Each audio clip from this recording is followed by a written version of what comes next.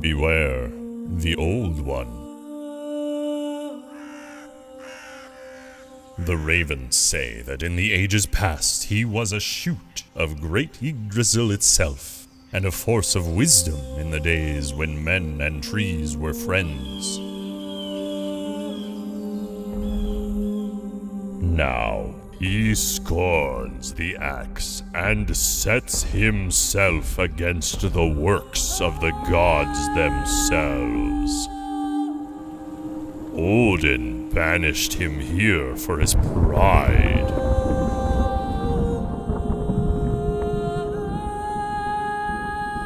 But his roots are deep.